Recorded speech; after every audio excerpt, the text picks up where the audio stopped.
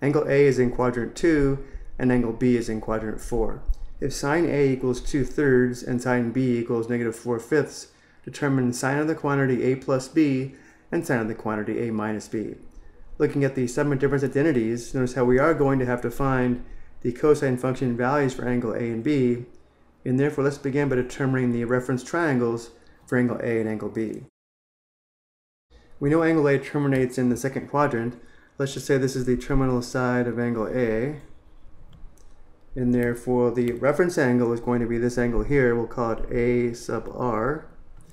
The reference triangle is this right triangle here.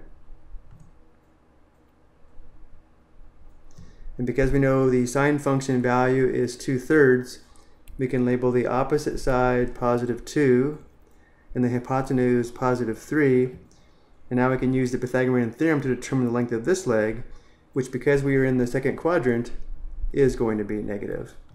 Let's go ahead and label this leg x, and then find x using the Pythagorean theorem, which gives us x squared plus 2 squared equals 3 squared.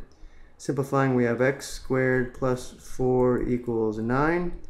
Subtracting 4 on both sides gives us x squared equals 5. And now we take the square root of both sides of the equation, which gives us x equals plus or minus the square root of 5. But again, because we're in the second quadrant, we know x is negative, and therefore we label the leg negative square root 5. We also know angle B is in quadrant 4. Let's assume this is the terminal side of angle B in quadrant 4. The reference angle is going to be this angle here, we'll call it B sub R. And the reference triangle is this right triangle here.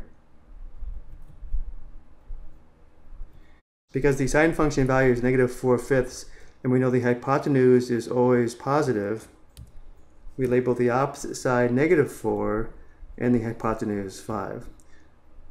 We also know this leg would be negative because we're in quadrant 4 where y is negative.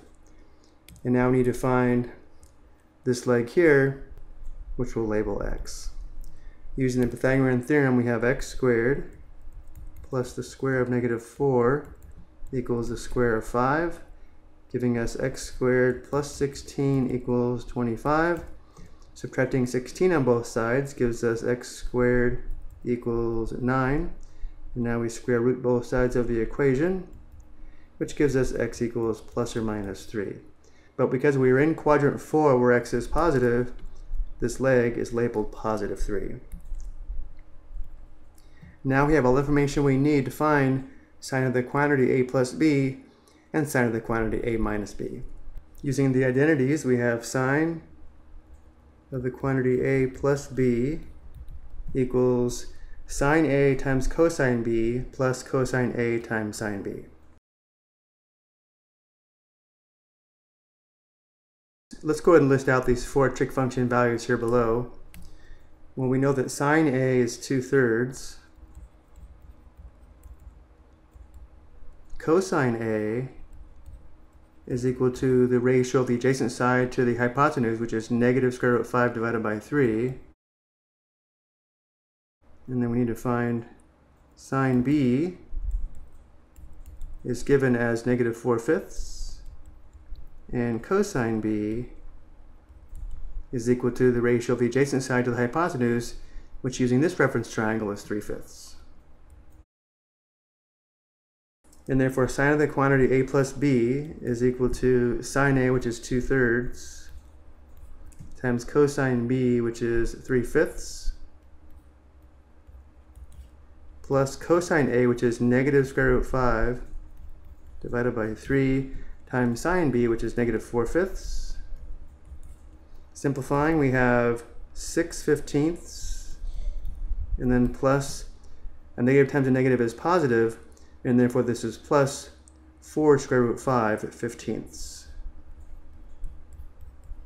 Giving us the quantity 6 plus 4 square root 5, all divided by 15.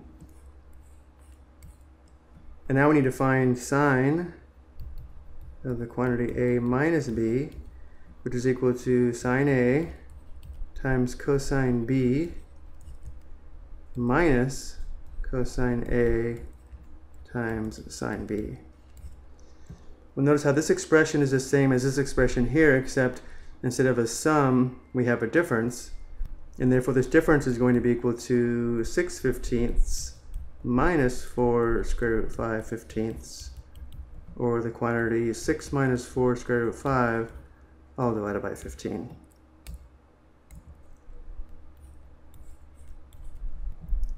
I hope you found this helpful.